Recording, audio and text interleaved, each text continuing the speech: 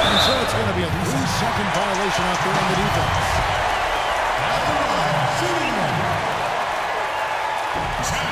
And he shows the focus there, nails the technical.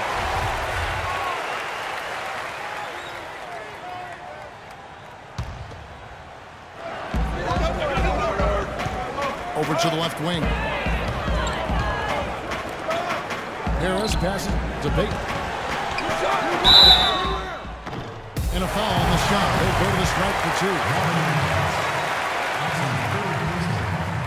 Good on the first, and that shrinks the margin to just four. And both free throws good for Payton. And that makes it a one-possession game, guys. Got to be the biggest free throws of the game thus far. You can probably expect to see him slow it down now. Yeah, you got the lead. Burn some clock here. Smart move. Yep. There's Galloway. At six.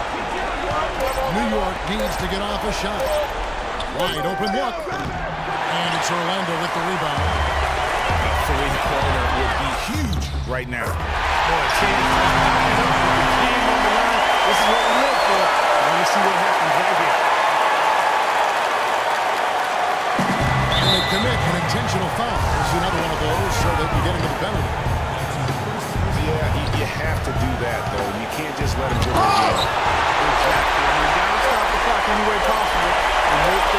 Alligator arm.